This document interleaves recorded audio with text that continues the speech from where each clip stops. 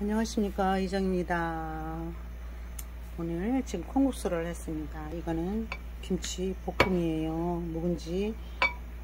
그리고 이거는 애호박을 소금에다 살짝 절여서 수분을 조금 제거한 뒤에 파기름 내서 마늘하고 이렇게 매운 고추 같이 새우젓에 양념을 했습니다. 정말 아작아작 하면서 맛있습니다 그리고 나물치 그토록 먹고 싶어 했던 봄나물 나물치입니다.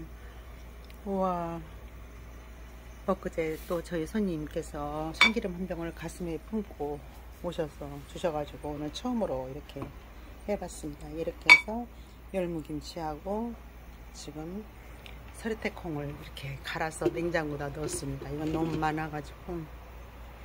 정말 대단한 오늘 콩국수 손님 초대가 될 것 같습니다.